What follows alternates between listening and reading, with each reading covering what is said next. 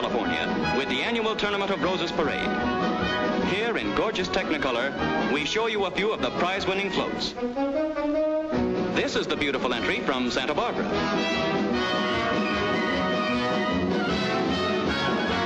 Popular with the kiddies is the float from the Encino Chamber of Commerce.